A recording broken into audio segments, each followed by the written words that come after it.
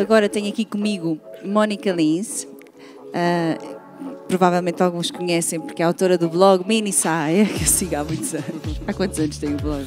17. 17, já é, uma, já é quase adolescente. Um, a, a Mónica é também consultora de imagem e hoje vem aqui trazer-nos um workshop de, de moda, sobretudo, dedicada sobretudo à moda athleisure, mas também vai partilhar aqui algumas dicas de estilo, falar um bocadinho também das tendências de primavera-verão, dos acessórios assim mais importantes, aquelas dicas que fazem a diferença em qualquer look.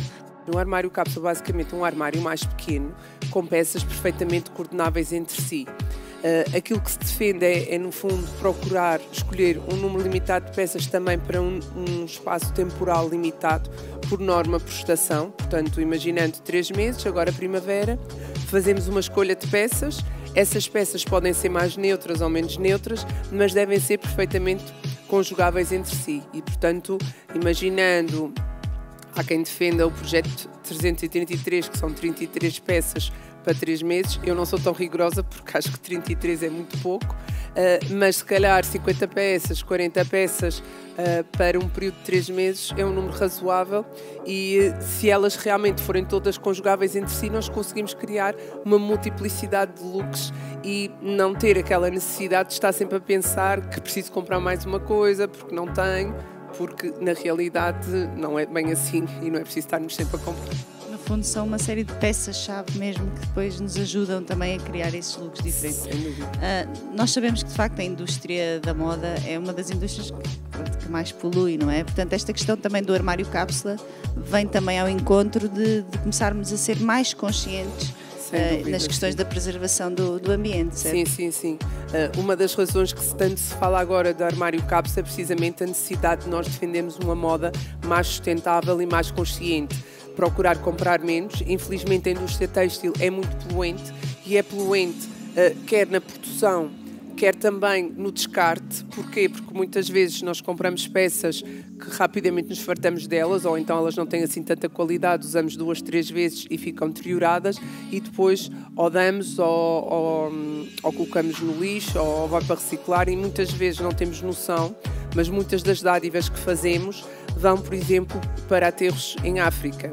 Eu vivi durante cinco anos na Guiné-Bissau e eh, um, uma das coisas que lá se fazia é no mercado a céu aberto.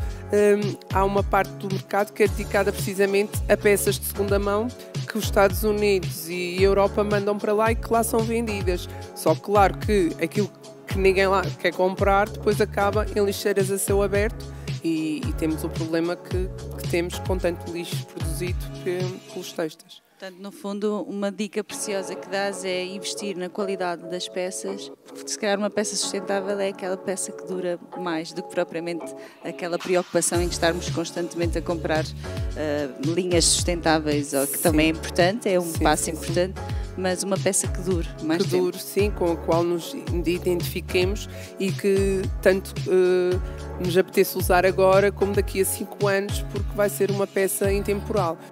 Eu aqui, no, no caso concreto do armário cápsula que vos vou mostrar, que é apenas aqui um exemplo de algumas peças que podem estar incluídas, como a tendência o athleisure, o athleisure é o quê? É uma espécie de moda híbrida que junta peças de desporto para uso no dia a dia. Aqui em Portugal, eh, já antes da pandemia, se falava um bocadinho desta tendência, mas obviamente que na pandemia toda a gente andou entre o pijama e o fato de treino. Portanto, a roupa de desporto passou a ser muito forte e houve muitos lançamentos nessa altura. Muitas marcas lançaram roupa mais prática para andar em casa, mas que também podia ser usada perfeitamente na rua. E é verdade que a moda, hum, esta tendência está muito forte atualmente. Basta entrar em algumas lojas para o perceber. Inclusivamente para o próximo outono e inverno, o último desfile da Miu Miu se virem as imagens vão perceber há imenso, imensos looks de outleisure com camisolas de, de capuz e, e, peças mais desportivas combinadas com outras com blazers e, e, portanto é uma tendência que eu acredito que veio para ficar. Eu uh, escolhi um crop top, portanto um, uma sweatshirt mais curtinha com capuz, claramente desportiva, mas juntei aqui com um, um, um fato bem mais formal, um fato que podem usar perfeitamente em primavera-verão que é um tecido mais, mais fresco, portanto para inverno não será tão, tão bom, mas eh, podem perfeitamente fazer este género de conciliação.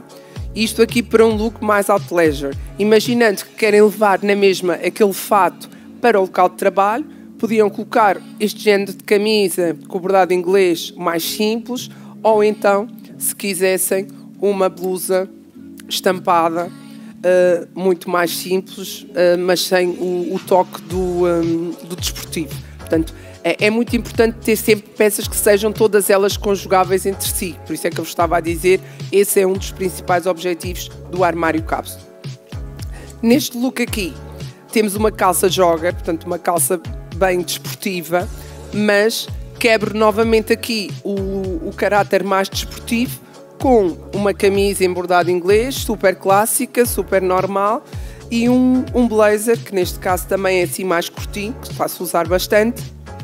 E jogo aqui uma brincadeira com os bonés, que são um, um acessório que se continua a usar bastante, e portanto estão aqui a ver uma junção que não é muito óbvia, mas que tende a funcionar bem. Inclusivamente, há quem use este género de calça com salto alto e funciona bem, portanto não tem que ser necessariamente o. Um, o ténis ou então aquelas sabrinas com a biqueira uh, assim bicuda, portanto não redonda, para dar um ar uh, mais chique, mas sem o desconforto muitas vezes para algumas mulheres do salto alto.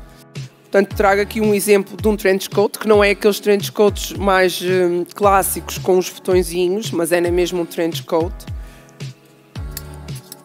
Aqui um exemplo de uma camisola que tende a ser associada mais a desporto, mas esta por acaso até é da salsa, nem é de nenhuma marca desportiva como a Adidas que eu trouxe aqui. Mas portanto estão aqui a ver que uh, o tipo de material faz lembrar as camisolas, bem como o corte, mas depois há aqui uns apontamentos que dão alguma graça especial. E nós aqui podemos, por que não, com o trench coat, usar aqui por cima e colocar umas calças de ganga e estaria o look com este apontamento mais desportivo, mas sem ser aquela coisa tão marcante. Pronto, uma saia lápis. Uma saia lápis, peça super clássica, super hum, eh, formal. Ótima para escritório, para aqueles looks mais formais. Mas também não há problema nenhum de nós colocarmos aqui uma, hum, uma t-shirt desportista. Eu costumo recomendar colocar por dentro as t-shirts. Muitas vezes as mulheres que têm tipos de corpos um bocadinho mais difíceis ou têm um bocadinho de barriga têm sempre alguma resistência em colocar as peças por dentro. Mas, ao contrário do que muita gente pensa, se nós definirmos a cintura e colocarmos um cinto chamativo, uh, isso ajuda a disfarçar a barriga.